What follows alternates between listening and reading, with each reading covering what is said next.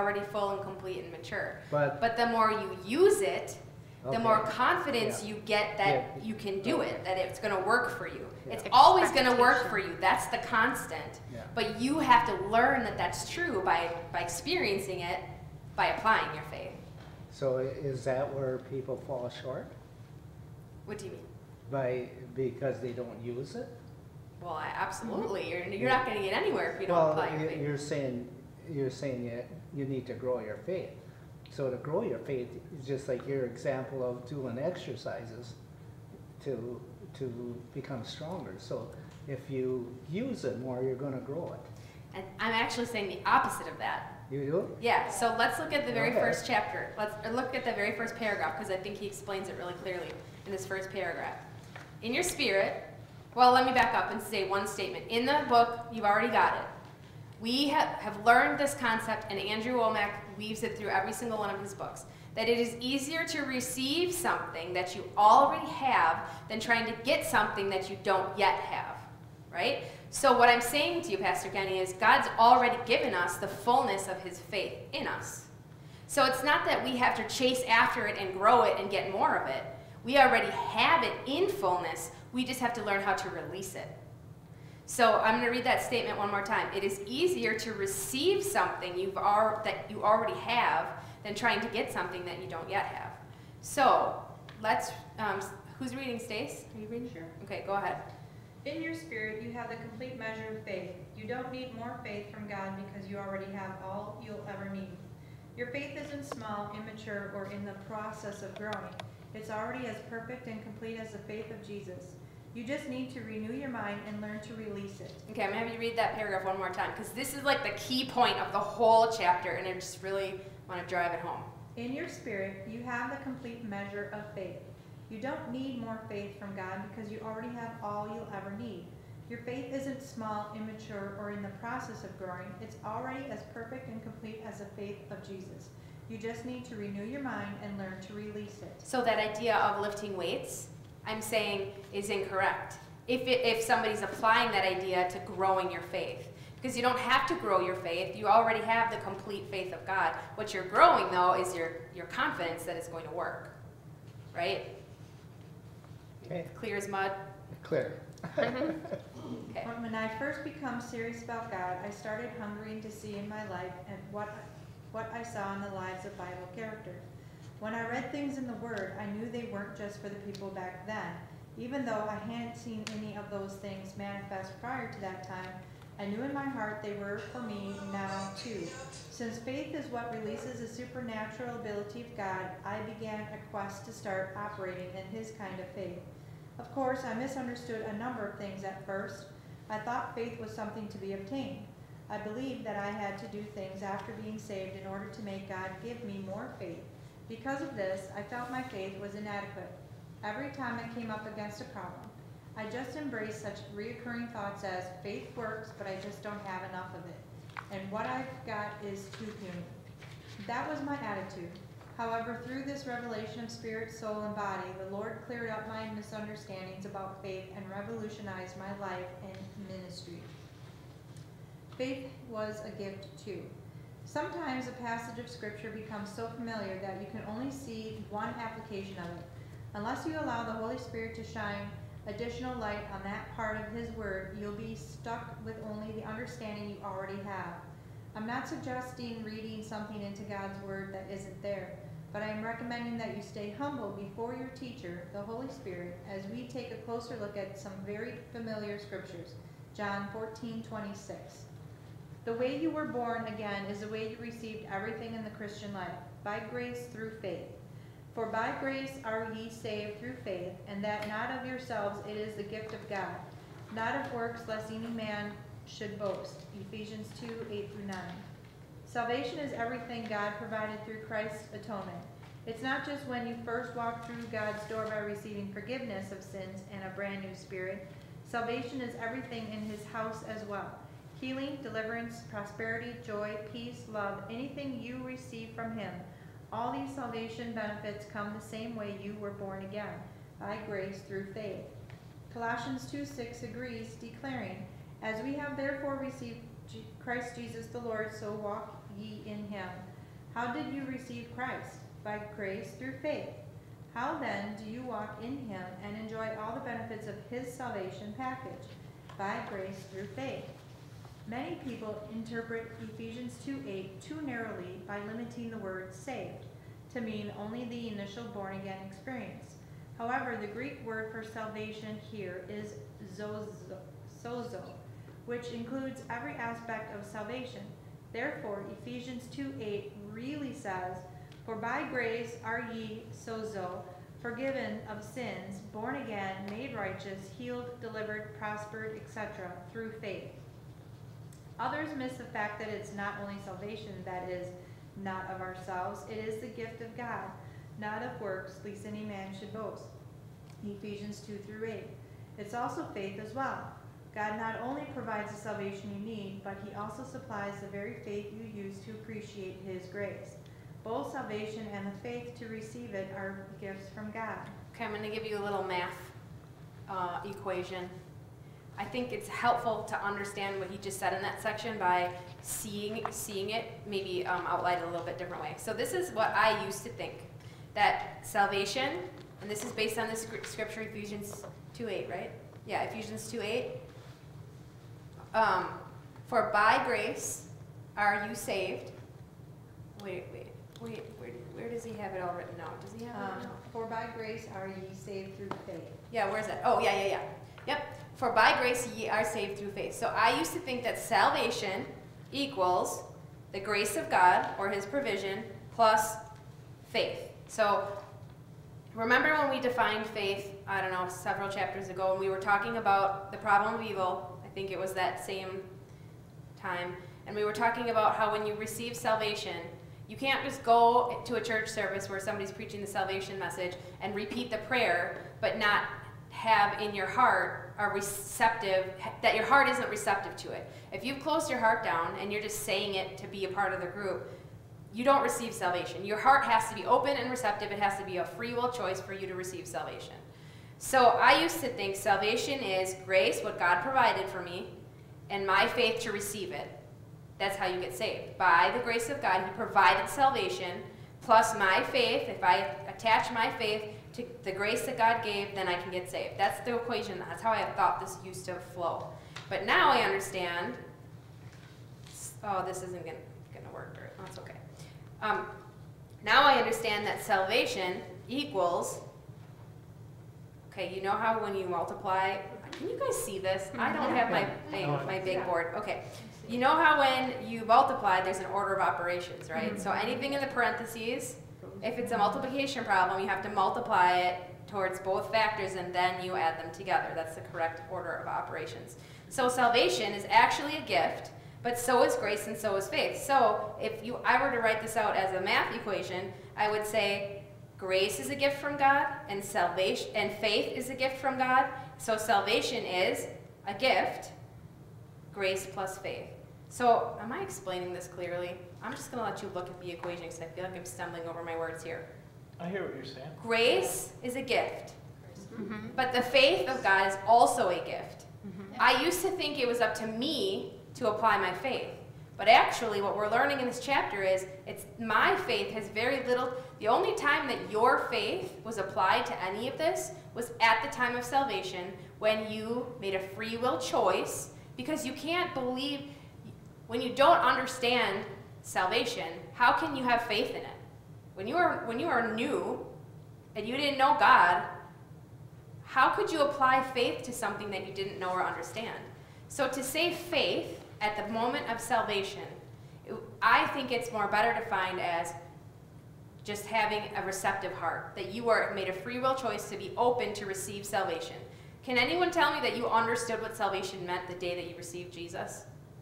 So what you're saying is he's so gracious that he even gives you the faith to believe in him. That's right. Mm-hmm. How could you use your own faith for salvation when you didn't even know what that meant right. at the time of salvation? No. So I'm saying to you exactly what Eric just said is God gave you his faith and he also gave you his grace. And salvation means the grace of God, which was Jesus on the cross, which was the, the mode by which we are saved through the shed blood of the cross, right? That's the grace of God. But he also gave us his faith to receive it. So, similar, I think he goes into a little bit more detail in the chapter, but I just wanted to preface th- this discussion with this idea that we didn't even really use our own faith. Because our, you know, spirit, soul, and body, right? We're a three part being. We know that we have a physical, carnal mind, because that's like the control center of how our flesh works. Our mind tells our eyelids to blink and our lungs to breathe, and, you know, helps us to make decisions. But we also have the mind of Christ. The Bible says in 2 Corinthians that we have the mind of Christ. How can we have the mind of Christ in our natural mind? You can't. That's right. The mind of Christ is actually in your spirit. But the word says we have the mind of Christ because we can draw out of our spirit man and have it revealed or have our carnal mind enlightened Right. to the mind of Christ. The same is true when you talk about faith. It's kind of multifaceted, or actually two. There's two sides to it. Do you have a human faith? Remember, didn't we talk about this chapter where we talked about the stop and go light and sitting in the chair and how you have physical senses that assess things? I think Mhm. that's coming next one. Darn! See, I'm sorry guys. That'll be in the next chapter. I already chapter. read it though, so I know what you mean. Okay, so we'll get there then. But I'll just give you a, a little. It's in this chapter. Is it? It, it's already in this chapter? 'Cause I- Yeah, I finished yeah, it comes up. Okay, yeah, yeah, you're right. Human faith. Okay, so I'm gonna shut up and we're gonna keep reading, and then it's all gonna come together and it's gonna be beautiful. Go ahead. But God's can I word- just, can I just say something Yeah. about what you were trying to bring out in salvation with grace and faith being a gift Yes. God? So it's not really our faith that really did it. It, it is supernaturally through God's faith, but we were receptive. We, we opened our heart and we were receptive to it. Right. I'm saying the faith that Ephesians 2 8 is referencing isn't human carnal faith, it was the faith of God. And so I think it'll come together the more we read. But yes, I'm saying that the, your free will act to receive Christ at salvation couldn't have been out of human faith because how can you have faith in something that you can't see? Human faith is based on what you can see and feel, touch, hear in your senses. Mm-hmm. Salvation is totally abstract. So your human faith doesn't have the capacity to believe in something that it can interact with. So it had to have been the faith of God in this in the salvation message because we know that the word of God is full of his faith. Every word of God has God's faith in it. That's how he created the world. He said, "Let there be light." That happened. The action of the light happening was a result of the faith of God through his spoken word. So when you say the salvation prayer, right? You have to believe in your heart and say with your mouth. You're actually speaking the faith of God, and that's what's at work in your heart to receive salvation. And that faith of God is really applicable for everything. Absolutely. That's what it is. It's not your own faith. Well, there's two facets, right? You, if you're approaching it, we're going to read about this in a couple sections. If you're sorry. approaching a chair, yeah, yeah. I- you make observations about that chair before you your sit in it. Yes. faith that you Sounds- bring. Yes. So I'm saying you can operate in human faith. Oh, yeah. I am saying you absolutely can. But when it comes to spiritual things, Spiritual, you're operating in. God's faith. Yeah. Okay. God's word contains his faith. You can't receive salvation without hearing the word. So then faith cometh by hearing, and hearing by the word of God, Romans ten seventeen. You might not hear it quoted chapter and verse, but the truths and concepts that are in God's word must come across your path somehow. You need to know that Jesus died for your sins, and because of his love, he offers forgiveness independent of your actions. His only demand is that you believe. Faith comes through hearing the word. How? God's word contains his faith. When you receive the word into your heart, you're receiving God's supernatural faith. You must hear the word be- because that's how you believe and receive. God put his faith in his words. When those words are preached, they contain faith. If you will open up your heart, that faith will enter in and produce salvation. 1 Peter 1 23 through 25. The faith you use to receive salvation is not merely a human faith, but God's own supernatural faith, which came to you through His Word. It's important to know whether your faith is natural or supernatural. If you believe that your faith is just a human faith, the devil will be able to convince you that it's not very good. He'll tell you it's puny, weak, frail, and small in amount and strength. But when you understand that the faith you're using is God's supernatural faith, which was imparted to you through His Word, your level of confidence and expectation will rise. It's not only the faith you use to become born again, but it's the faith you use to appreciate, appropriate appropriate everything in the Christian life. Since God's faith is a supernatural faith, it produces supernatural results. It has the ability to do things that will take you beyond just the physical realm. If you believe you're using just a human faith for the Christian life, you'll only be able to receive natural results. However, when you receive, I'm sorry, when you realize that it's God's faith you're using, you'll start experiencing supernatural results. Okay, so when you're talking about um, somebody like Pastor's son-in-law who was um, showing physical signs that his body was dying, if she were to use her human human faith in that situation, she would be dominated by her environment, what she could see, taste, feel, hear, touch. She was seeing the physical manifestation of death in his flesh. And so her human faith, which we're going to further define in the next chapter, can only relate to what it can interact with.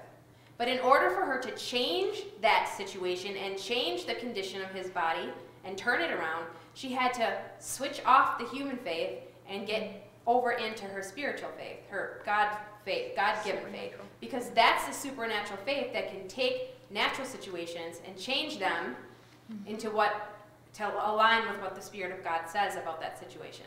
So, mm-hmm. the right use of, use of faith is not to exercise it to develop it. It is simply to agree with God and expect the results to line up with the authority of His Word. So you look at a physical situation, and if it is not in line with what you know the Word says, then the, your job is to use God's faith, which is in His Word. That's why you need to speak His Word to activate His faith over the situation, and then you just expect that that situation is going to align with what the Word of God says. So, whose report will you believe? Your human faith, which you can see in front of you, or the report of the Lord, which you can see in the Word. Mm-hmm. And your job is to stand and expect and not walk away until you see what's see your situation align with the word. Okay. So that's why it's that it takes the pressure off, right? Because it's not about you or your performance or what you can do in your ability. It says when you understand that the faith you're using is God's supernatural faith, which was imparted to you through his word, your level of confidence and expectations will rise.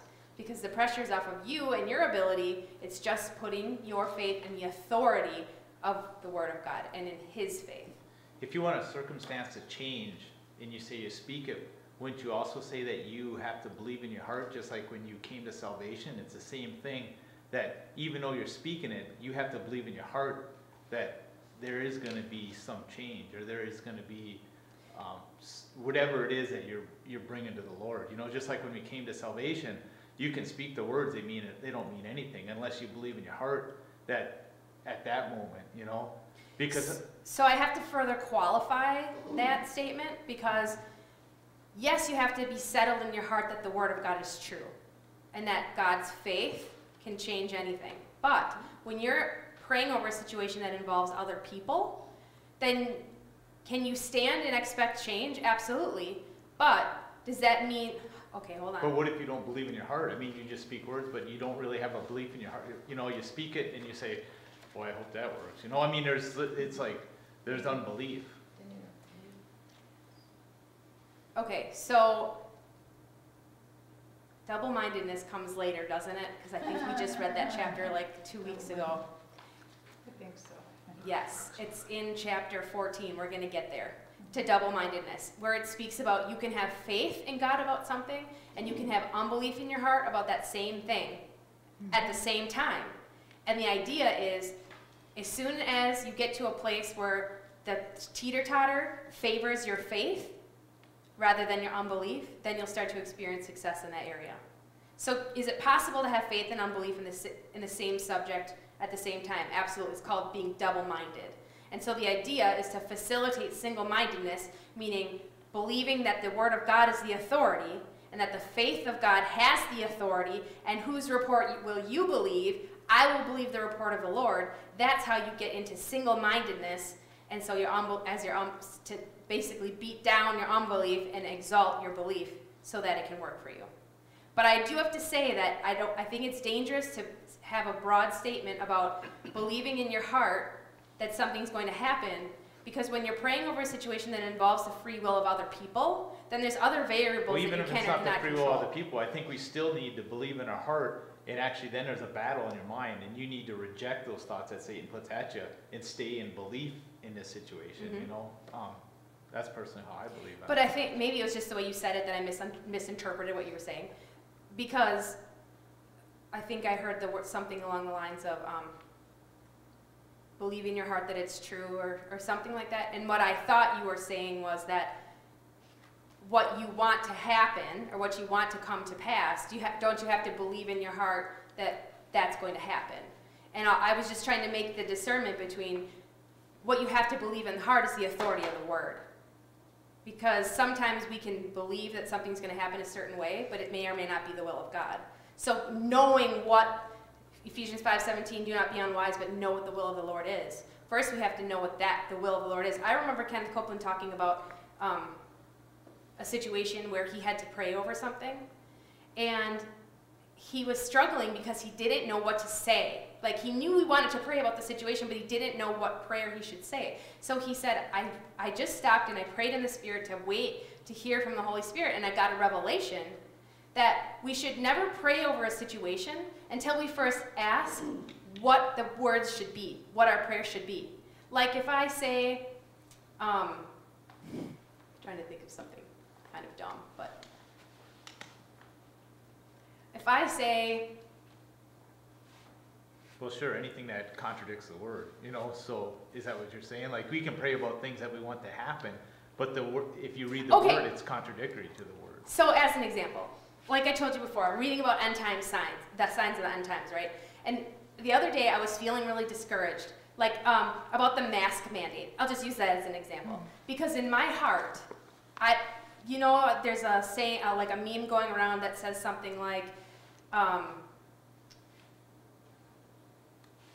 um, I don't remember the first word, but it said something like um, the right way to do things is to inhibit the movement of sick people in order to keep them healthy and not expose them to external risk. But it's tyranny to, to inhibit the movement of healthy people.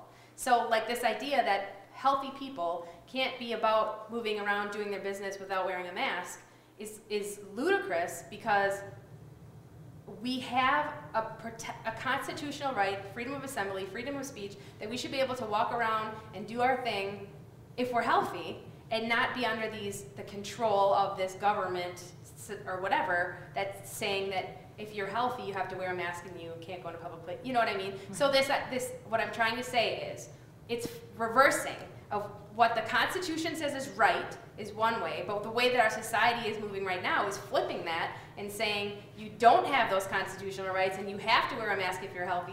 It doesn't make any sense. I'm really torn in my heart because I know we have constitutional liberties, and how can our local government, our local elected government who's supposed to abide with the Constitution, how can they be overstepping it and completely reversing it with these mandates?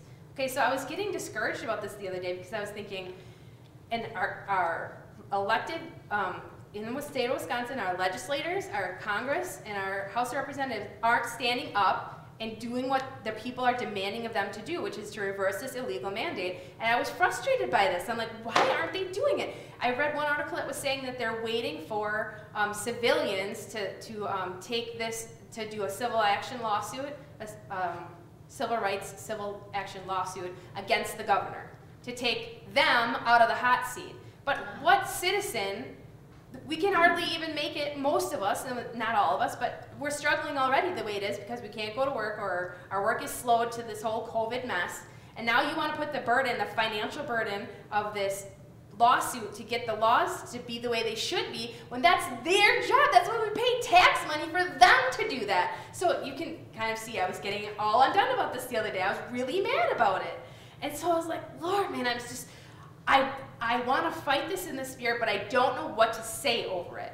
So I started to pray in the spirit, right? Because when you don't know what to do, that's how you get your mind, that's how you facilitate single mindedness. You get the mind of Christ, from your spirit into your natural mind. So I was just praying in the spirit about this whole thing that I just was so frustrated about. And I was scrolling through Facebook and there was, not at the same time, this was a little bit later, and there was an, an ad for Rick Renner, not an ad, whatever. For his page, he just released a new book about the signs of the end times. Now, I ordinarily maybe probably wouldn't have even thought anything of it, but something jumped out that I felt like I needed to pursue that. I needed to listen to his messages about this topic and I needed to read it. Well, now that I'm reading it, I understand that's what, that what's happening is totally prophetic. It's totally setting the stage for where our world is going. And so now I understand my proper place in this whole thing and why things are happening the way they are and to not get so undone about what's happening because I can't stop it. I mean, I, we can stop it in the spirit, of course, and we can move at, according to the spirit, but we have to know what the will of the Lord is. If I pray against the will of the Lord in this situation, I'm not get, I'm going to spin my wheels. I'm not going to get anywhere. And, and you know, when you know, like you're saying, the prophetic of where we're going, then you can walk in peace in that because you know it's been already prophesied. Right. So so he has a book out right right now called that I'm reading called um, um, How to Keep Your Head on Straight in a World Gone Crazy. And he's talking about all these weird conspiracy theories that are going around, like this idea of the mandated vaccine and that they're going to put microchips in the vaccine and then that, that microchip is going to be the mark of the beast. Well, he addresses that and he says, that all sounds good, but it's scripturally inaccurate because the mark of the beast does not come out until after the Antichrist is revealed, and that is after the rapture of the church. And you cannot receive the mark of the beast without making a premeditated free will decision to receive it. Because that's what condemns you to hell, right? If you receive the mark of the beast. So they can't slip it in a vaccine and give it to you as a mandated vaccine without your consent, because that's not that's not how the story's written. We have to follow the script, right? So then I was like, oh, right, okay. Not that I had fear about microchips and vaccines and all. I mean, I mean, I was. It's concerning a little bit, but um, the idea that they can force it on you, they can't. So, and you have to know the proper order of when these things happen. So now when I'm starting to learn, all these things that are happening right now are absolutely setting the stage for the, the New World Order and the Antichrist to come. It's going to take, there's multiple stages of this needing to happen. And we're, the good news is, before it gets really nasty and before mm-hmm. they start rolling out all the judgments, we're going to be snatched out in the nick of time. So we don't have to be in fear, but we have to understand that we are entering in a time right now where the where Christians will be persecuted at very various levels. Now, the more you know the Word and the more you know Psalm 91, it doesn't necessarily mean your life is in danger, but what like what I read in Luke, why? That's what, I was just gonna say, and that's where it goes full circle, because it goes back to us testifying. That's right. That's right. When we're put in positions, like I testify a lot on Facebook. If anybody follows me, I always have something to say, and I do not make a lot of friends. Love. Always in love, but I. First Corinthians thirteen, like, Well, I didn't say that I necessarily always have what's the word, uh, tact. I don't always. Well, it says, No. it says that Christians are gonna be prosecuted. That's what they're doing right now. Absolutely. There's a pastor in California that they're Yeah. trying to take, arrest him and take him to court Right. because he said, Yeah, "Screw you, we're having church." Also, uh, uh, churches can't hold services, you can only have so many people. Um, You can't sing in the church, you know, that- Mm-hmm. they're persecuting the Christians, that's what they're doing. I saw an article of somebody that was scouting out churches. I think Pastor Jan posted it. Some lady who's going through Maine, it was, um, Yeah, it- finding churches that were in non-compliance and reporting Uh-huh. them. Yeah, I There- posted something like we- that too. We have, even locally here, we have people taking license numbers down, Oh, my. so. Right. So so what? But we still have to hold the line. It's so important that this remnant of the church stays pure because we're going to be the only voice of reason and truth. He he talks about um absolute truth and I was hoping to play this part but we're not going to get to it tonight. But if you want to go on on his YouTube channel, he has something about compliance and forced compliance in the last days and its purpose. And he talks about how um, where was I going with this? Totally lost my train of thought. Um, compliance. I think we're smart spider webbing now, so Yeah, we are that's kind of. fine though. We are kind of. That's But, alright. but you, you, you hinted about they wanted civilians to bring this lawsuit yes. against our government. Yeah. And you're saying that that's not the civilians' job to do it, it's their job, they've been elected to it. But all you gotta do is look at where, where those people are at in, as far as being reelected. That's what, right now you got two Republicans that are supposed to be leading the charge and one of them sitting on his hands because he's up for reelection. So he's, he's afraid to stand up. But That's as this gets worse and as this gets worse, we'll stand out brighter and brighter because as Christians walk in peace, they'll be looking and saying, how can you have all this load of peace when everyone, That's as, right. the, as the times get worse and worse, they'll be like, I mean, Know where we're going. right? And then, well, how, how can you be peaceful? How come you can be joyful? How come you're smiling? What's going on in your life, you know? Mhm. You even, Ellie, you even got like the guy that's in your district, he speaks up, but. Steineke? I, I don't know his name. It's either Steineke or Cowles, and Cowles doesn't do anything, No. so it's gotta be Steineke. Or, But, but, I just lit him up the other day in an email. Not like attacking him, but just Yeah. saying, but uh, he comes out, he speaks, uh, but he can't do anything. they can call an emergency session of Congress. They absolutely can. Any one of them can, if they get a majority can- vote. Yeah, he, they could if they got a number of them to go along with it. hmm We already have laws on the, on the books that say wearing masks in public are, it's illegal anyways. But we have, Outagamie County, we got Tom Nelson, who's the executive in Outagamie County. He's backtracked from what he, what his originally thinking is. Now he's falling in line with Evers. You know, hmm again, he, he was elected on his, what he stood for. Now he's not doing the job what he said he would do. hmm So this idea of forced compliance, I don't necessarily know where I was going with that, but I'll just bring it back to say that um, this idea of tolerance and acceptance, how the devil is using people who tend to be more progressively minded to say that if you aren't tolerant and if you aren't inclusive of alternate lifestyles, for example, that you are um, not showing the love of Christ because God loved everybody. That's a message I hear all the time. How can you call yourself a Christian? Yeah. God says you're supposed to love your neighbor as you love yourself. That means being tolerant and inclusive of alternate lifestyles. Well, the, the truth of the Word of God says if, if you were created a male and you have a penis, then guess what? You're a male and you don't have the, the um, yes, you can do whatever you want, you have a free will, but you can't change your anatomy and become a female. You were created to be a male. You know what I always say with that? If you take a bolt and a nut, you have two nuts, they're totally useless. They do nothing for you. You take two bolts, they do nothing for you. But if you have a bolt and a nut, then you have something functional. That's right. You, this sounds like a, sounds like a little bit of an engineer's mind. Right. So, in the last days now, where the Christians are persecuted, right? You'll be if you hold the line and if you speak truth and you walk, you are the light and you are the salt of the earth. When somebody asks you, do you do you accept homosexuality, Right. for example, you're obligated if you are a part of the remnant church in the last time, you are obligated to say homosexuality is not acceptable according to the word of God. Now, do I judge the person or hate the person who chooses homosexuality? No, I love the person.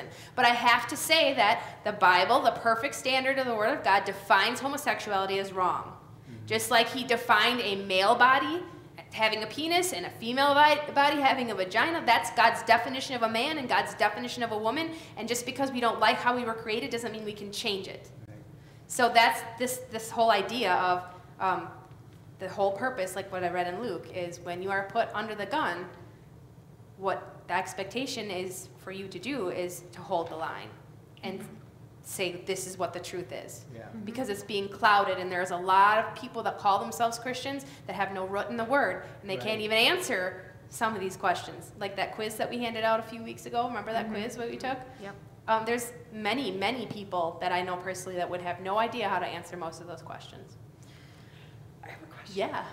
Okay, so with everything that's going on, where do you draw the line? Where do you say, we're not gonna, we're not gonna follow those rules? Because in the Bible, they didn't always go with like civil authority or Mhm. whatever.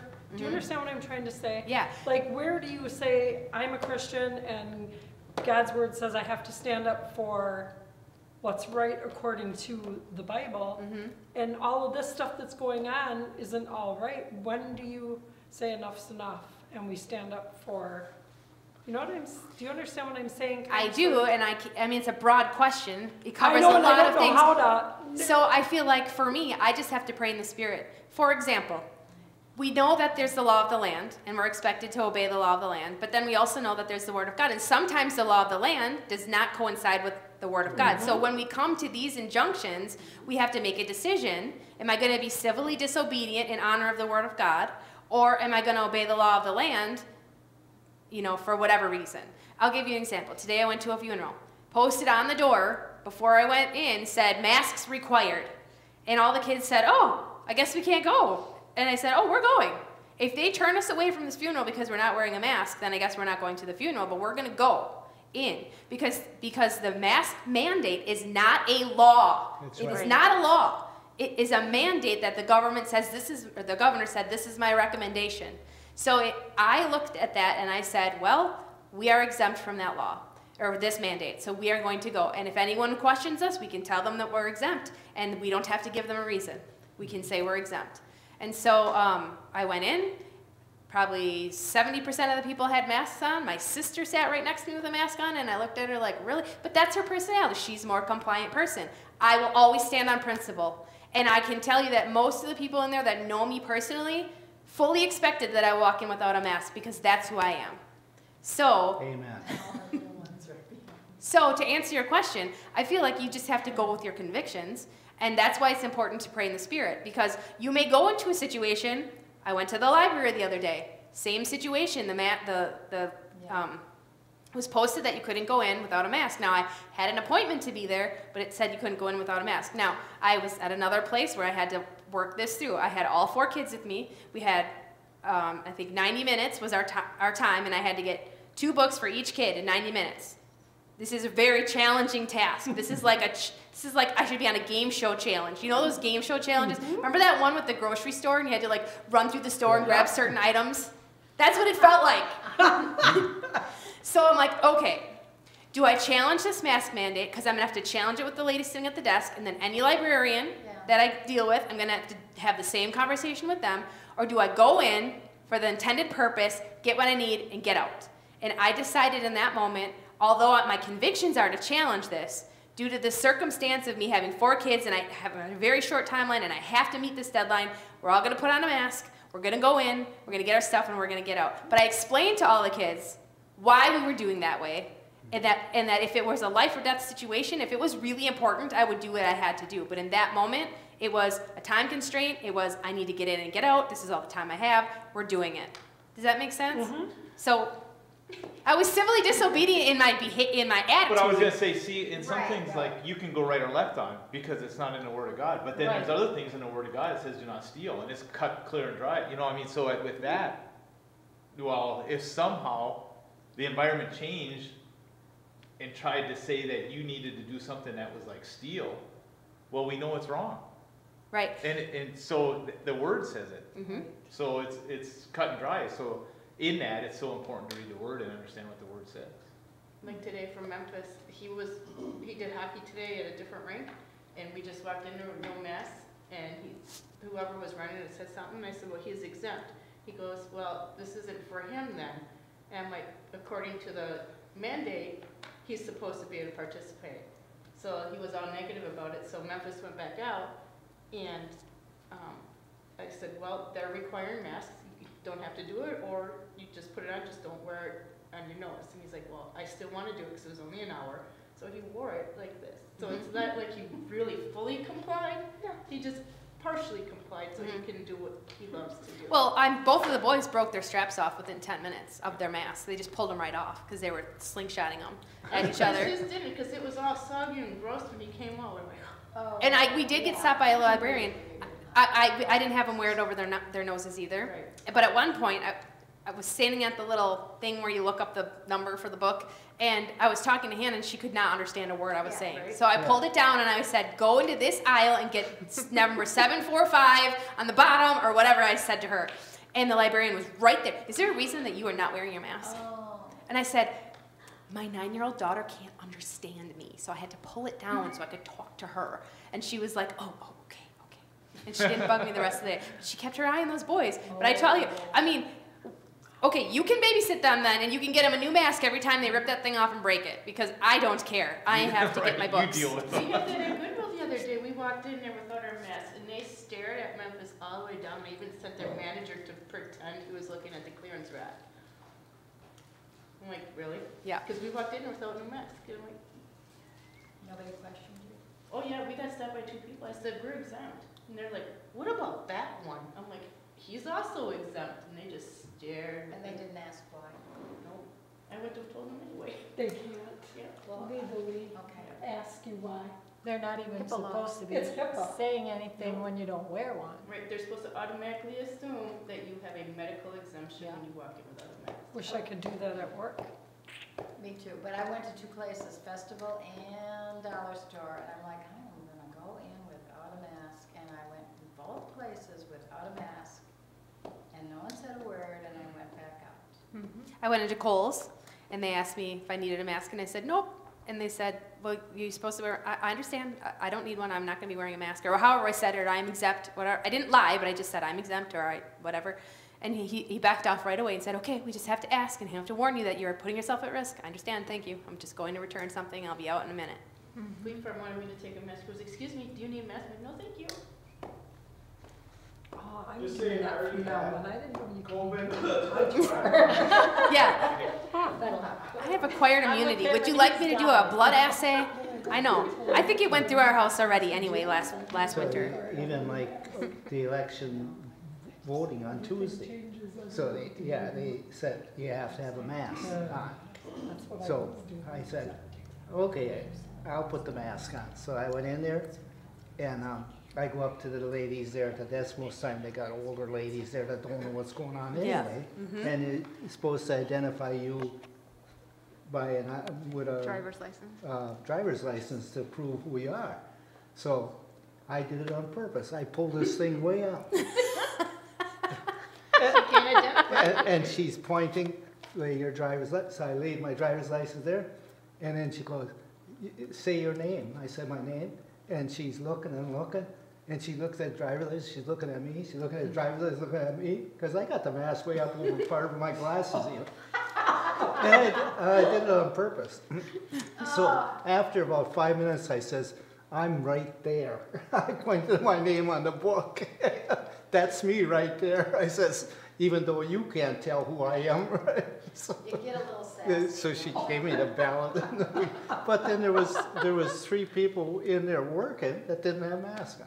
But they insisted when you first came on that you had to have a mask. I had read reports of people saying that if they refused to wear a mask, they had to vote outside and then have someone deliver their ballot in, and they couldn't see. So in that situation, I'm gonna put a mask on because I'm gonna watch where my ballot goes. That's So, right. so there are situations where you just have to discern. Is this a time for me to stand up, or is this a time for me to do, what's the, the better of two evils, if you will? You know what I mean? I was tempted to, you know, I was probably being pretty nasty when I went there. Yeah, it I was- like you were a little sassy. I was temp, I was tempted to, you know, they said, well, you wanna vote on one of those machines there? I says, no, I want the paper ballot in my hand, cause I said, that person that's telling you on how to run the machine there is probably a Democrat, and I says, I'm not voting Democrat. So, And needless to say, I bet you had an attitude at the, at the library. I did have an attitude. And see, that's my point. I guess that's what you call, could've called what I had Tuesday I went attitude right. Yeah, I did, I, I stormed out of hockey today, but Memphis is like, And I didn't treat anybody poorly, No, no, no, is but I, my blood was boiling, Yeah. yeah. No, and that's, you know, it's kind of like, is this a Christian way of going this thing? But, you know, it's like, no, uh, don't mess with I, I pulled the mask up, cause I had it up so high, and my glasses were all fogged up. What's the time? Oh, we gotta cut it there. Okay, we'll read about human faith next time. Yeah, oh my gosh. Oh, thanks, Siri. There you go. All right, um, Good conversation. communion, please, from our handsome usher this evening. Would you like to show everybody your hat? I like that, I saw that. earlier. Hat. I like that hat.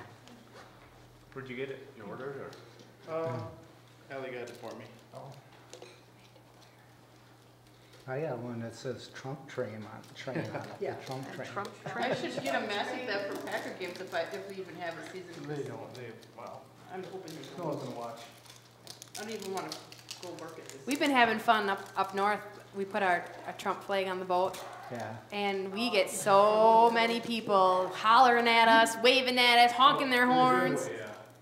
Yeah, Now they're all copying us. yeah, that's, that's okay. We need that, all the advertising we can get. Right? There's flags now, people are putting them on their, at the end of their docks and on their houses, so, yeah, there's a guy over on County Trunk Avenue, he's got, he's got a sign out Trump, honk your horn. do you honk? Sure. Real loud. That's a good idea, we should do that. We get a lot of traffic by our house. Hmm. Mm-hmm. We could have a honk parade all day long. In the middle of the night. Yeah.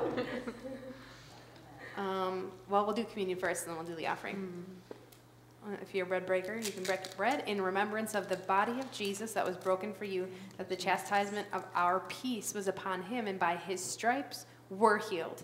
Receive that. Amen. Amen. That's all you need for COVID.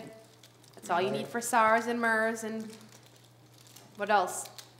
Swine flu, H1N1. The blue. Zika, malaria, Ebola, and the next one, because the Bible says there's it's not plagues. There's going to be, as soon as we get over this one, there's going to be another one. So just Amen. understand that you got your medicine right here. That's right. Amen.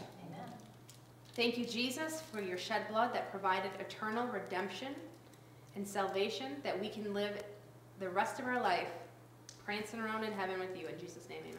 Amen.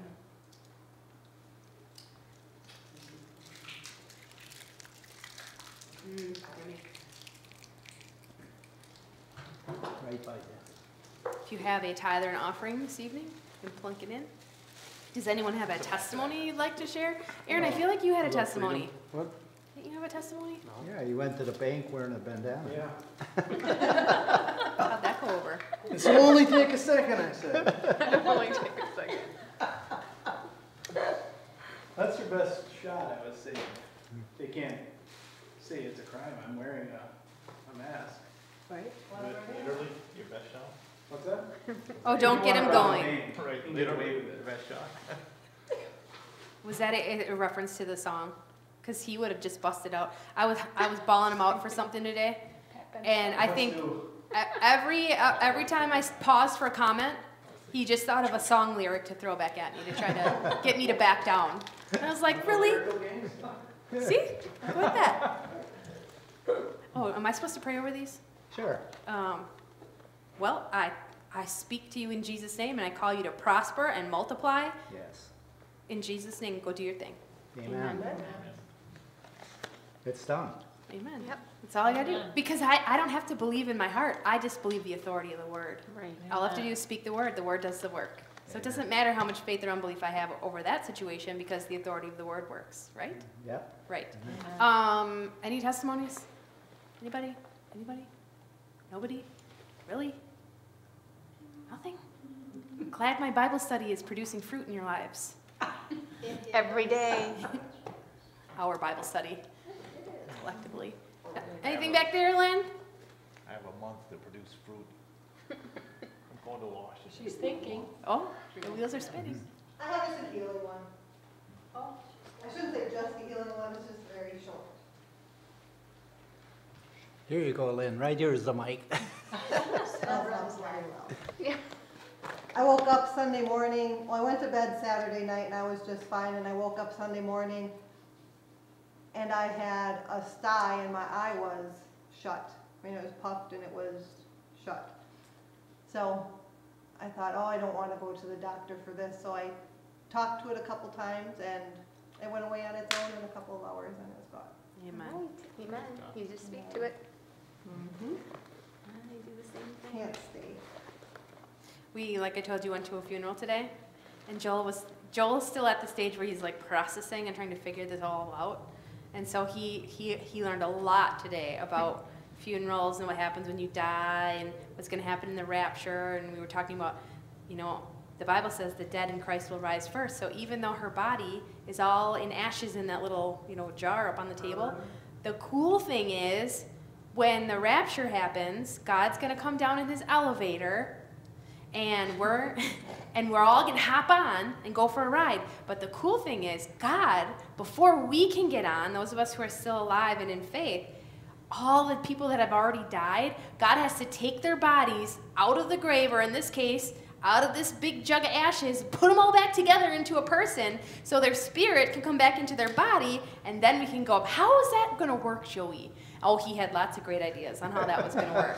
This guy, kid's got a big imagination. It was pretty cool. Just like talk about. He's like, "Why are people sad in here, mom?" And I said, "Well, if you were at my funeral, you, would you be sad?" And he's like, "Well." I guess a little bit, but I, I know that you're, I know where you are and I'll see you. I mean, like, he had the eternal perspective that a lot of people sitting in those chairs Yeah, yeah. didn't have. I mean, our whole family in this whole row, it was me and the kids and Lindsay and Adam and Charlotte and Emma and all that, and Mark and Rita. So this whole line. And we were all, it's hard for me to contain my joy in a funeral if I know that the person that died is born again and went to heaven because I know what they're experiencing right now. Yeah, right. I'm so excited for them.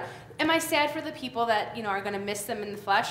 Sure I am, and I'm mm-hmm. compassionate and I have empathy towards that. But I can't sit there and cry because I know that they aren't they are not watching their own funeral. They could care less what we're doing right now. Right. And so I was kind of giving Rita that perspective um, when the day that her sister died, I happened to be with her. And I said, I know that your flesh wants you to get sad right now, but I want you to just keep the focus on what was her will. It was her choice, and she wanted to walk away from this life and graduate to the next one. You can't make this about you and how you feel about it. You have to keep the focus on her and what was her desire, and this is what she wanted, and you have to understand what she's experiencing right now and shift your perspective from what you have to deal with with the funeral arrangements to what is her life experience right now. What does she look like? Pull out the most youthful picture you can find of her. That's what she looks like right now. And so when we were talking about that, she tends to let her emotions, she likes to be in her emotion more times. But she did really, really well the last couple of weeks in the funeral. She just did great. And everybody in my row, we were all just like trying to not be too, you know, like you try not to laugh out loud, you know, when you're in a funeral, because out of sensitivity for other people, you don't want them to think that you don't care. But he, uh, coming out of the funeral, Hannah said, Mom, don't you care that Mimi's, Mimi's sister died? And I'm like, Well, what do you mean, do I care? And, and she's like, well, you just acted like you didn't care. And I'm like, well, I don't care. I mean, I don't take the care of her death. Yeah. I recognize that the people there are people in there hurting, but I know where she is, and that's where I'm excited about. Is she's she beat us there, man. She's experiencing eternity right now. Your mom was doing fine up until the knuckle bumps and the high fives, right? And She was like, wait now, hold on, Allie, what's going on? But I think that what I observed is that all the other people there were really pulling from our energy. Even though they weren't saying it, everyone wanted to come talk to us. Everybody wanted to be near us. Everybody was commenting on how, how the kids were just beautiful family and beautiful children and they're just so such a joy. Well, they don't even know my kids well enough to make those assumptions, you know, to make Yeah. but they were just feeding off of that energy and that Yeah. love and that joy. So anyway. All right then. Go forth and be blessed. See you next week. Same bat channel, same bat time.